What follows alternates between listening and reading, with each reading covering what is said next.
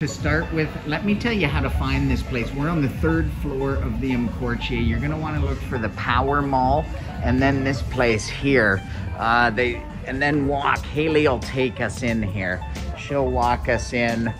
This is Aoi, Aoi, Aoi.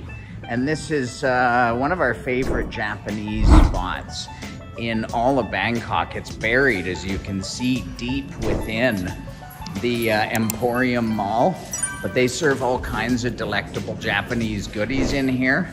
There it is there, Aoi. And let's see, Haley's gonna walk us in.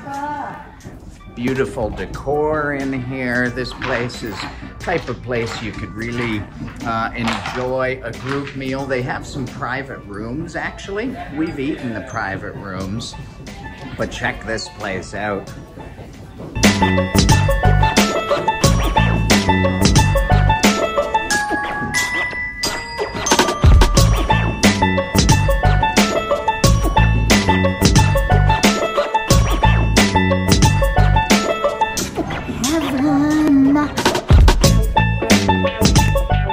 So that was Aoi, and our meal came to 2,030 baht. So that's pretty expensive here in Bangkok, and I'm gonna give you a Teenee tip on tipping.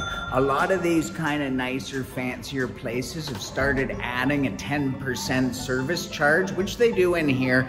And fair enough, when they do that, I definitely don't leave any tip. Tipping's never expected when you're in Thailand, but if I go to a place that doesn't add a service charge, I'll, I'll often leave them a, a little bit of a tip. But in here, they charge a service charge. This is starting to happen more and more. When that happens, I call that the tip. That is what it is. So 2,000 baht, but we had chirashi, a whole chirashi bowl. We had this salmon sushi sashimi combo set, and then I had my favorite, the uh, Don Casa, the pork cutlet with ponzu sauce. So come and check out Aoi. You're gonna have to find it through the Emporium shopping mall, but uh, it's worth it if you're hankering Japanese.